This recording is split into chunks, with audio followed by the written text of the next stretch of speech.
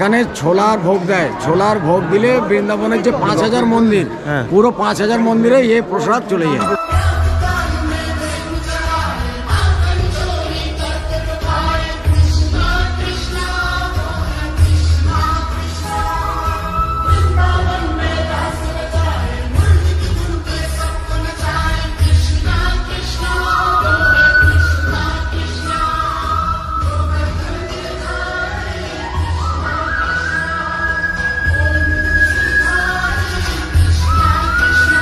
তো তখন আমরা ফিরেছি, আমাদের আশ্রমে ফিরে খেয়েছি, তারপর স্নান করেছি, করে তারপরে আবার তিনটের সময় বেরিয়ে পড়েছি। তো এখন আছি কিন্তু জগৎ শেঠের যে মন্দির, সেই মন্দিরের সামনে। এর ভেতরে নাকি সোনার তাল গাছ আছে। চলো ভেতরে যাই।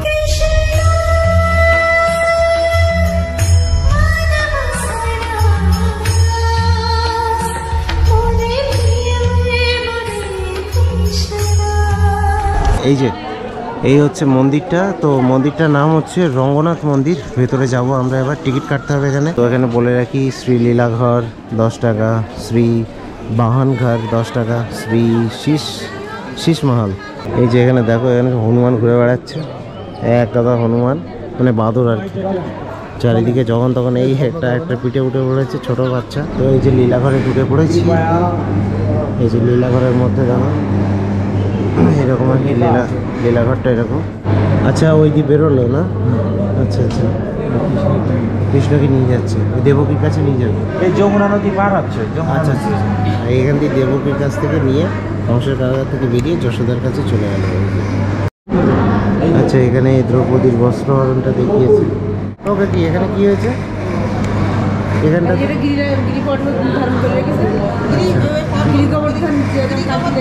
আচ্ছা আচ্ছা গিরি গোবর্ধন পর্বত ধারণ করে রেখেছে। তো এরকম বিভিন্ন রকমের লীলা কিন্তু এখানে দেখানো হয়েছে। এর ভেতরটাতে এই লীলাঘাট যেটা, এর মধ্যে অনেক কিছুই দেখানো হয়েছে। এখানেও এই যে দেখতে পাচ্ছি যে রাম রাবণের যুদ্ধ, সেটাকে আর কি দেখিয়েছে এখানটাতে তো এটা হচ্ছে শ্রীরামজি কি রাজ দরবার। এই যে রাজ দরবার মানে যখন রাজ্যাভিষেক হয়েছিল, সেই সময়টাকে দেখানো হয়েছে। এখানে শ্রীরাম আর সীতা মা আছে।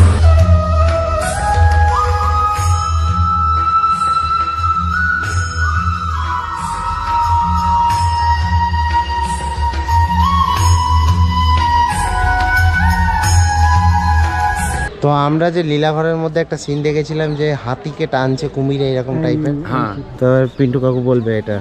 বলো। ভগবান শ্রীকৃষ্ণকে স্মরণ করেছিল। হাতি যখন স্মরণ করেছিল যে আমাকে বাঁচাও প্রভু বাঁচাও কৃষ্ণ এসে হাতিকে উদ্ধার করেছিল।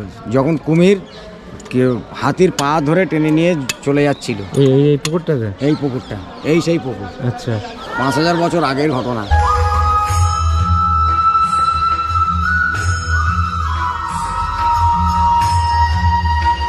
এই হচ্ছে সোনার তাল গাছ।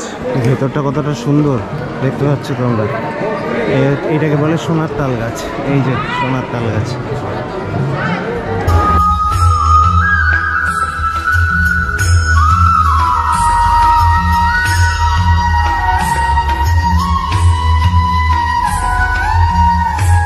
তো এখানে কিন্তু ভেতরে এসে খুবই ভালো লাগছে দেখতে একদম অ্যানসেন্ট সব হিস্ট্রি সেইগুলোকে দেখছি আর কি খুবই সুন্দর। এই সোনার তাল গাছ এটাও কিন্তু পাঁচ হাজার বছরের পুরনো। এই হচ্ছে সোনার তাল গাছ হ্যাঁ। তো এবার সোনার তাল গাছের হিস্ট্রিটা একটু জেনে নেব। সোনার তাল গাছের হিস্ট্রি হচ্ছে এখানে চানা কা ভোগ লাগাতে হয় চানা কা ভোগ হিন্দিতে কেন? বাংলায় বলো। আর এখানে ছোলার ভোগ দেয়। ছোলার ভোগ দিলে বৃন্দাবনের যে পাঁচ হাজার মন্দির হ্যাঁ। পুরো পাঁচ হাজার মন্দিরে এ প্রসাদ চলে যায়। আচ্ছা, আপনা চলে যায়।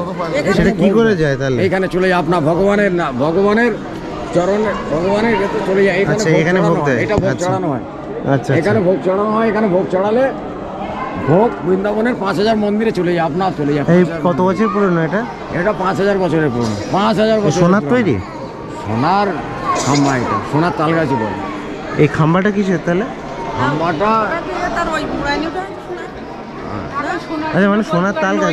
সোনার বলে তাল গাছ। সোনার তাল গাছ। কিন্তু সোনা না এটা।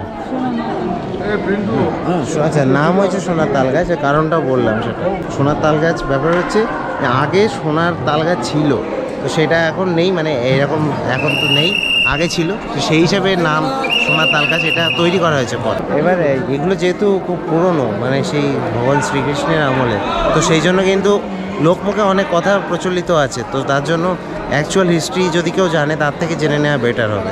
তো এবার চলে এলাম শীষমহলের ভেতরে। এই যে শীষমহলের ভেতরে দাঁড়িয়ে আছি আমি এখন। শীষমহল, দেখে নাও একটু।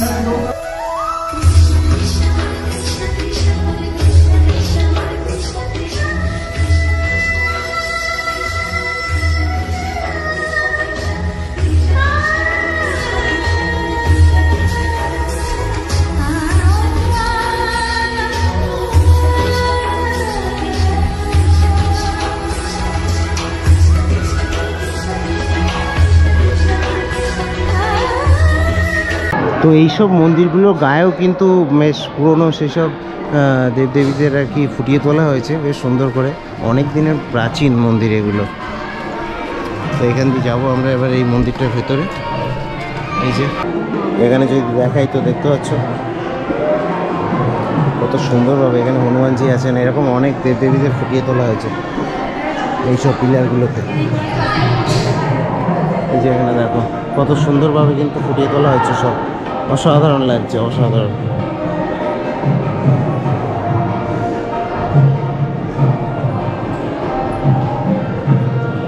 খুব সুন্দর চারিদিকে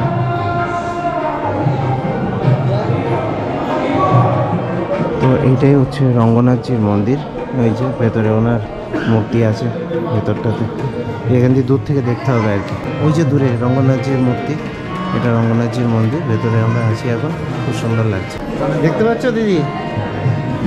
দেখতে পাচ্ছ? দূর থেকে প্রণাম করে চলো এবার বাইরের দিকে যাওয়া যাক।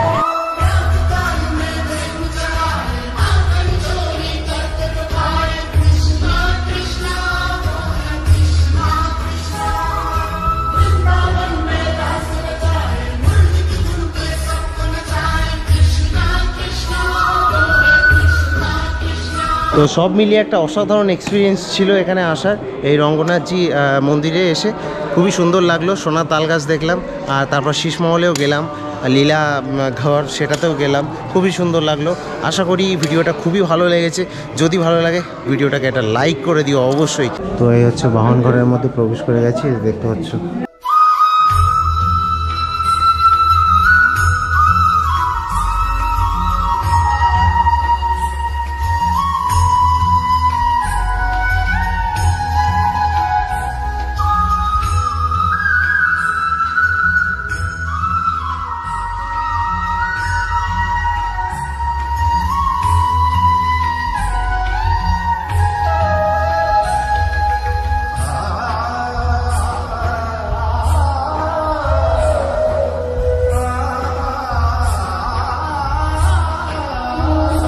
রঙ্গনাথজির মন্দির থেকে বেরোলাম। কেমন লাগল?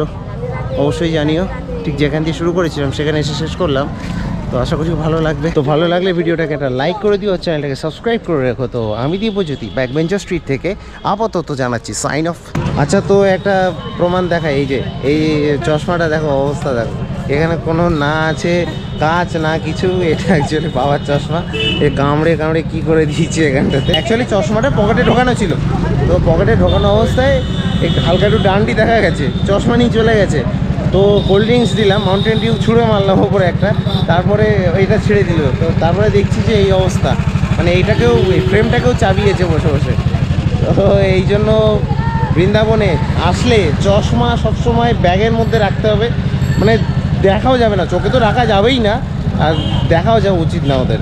আমি যেমন গোপ্রো নিয়ে ভিডিও করছি, খুব সাবধানে করছি, হাতের মধ্যে গোপ্রো ছোটো জিনিস হাতের মধ্যে চলে আসছে। ফোনও রাখা যাবে না, নইলে শেষ।